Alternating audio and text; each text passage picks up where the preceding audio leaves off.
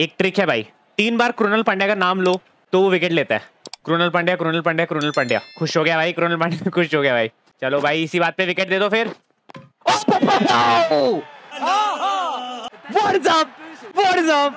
Let's go! क्या बोला था मैंने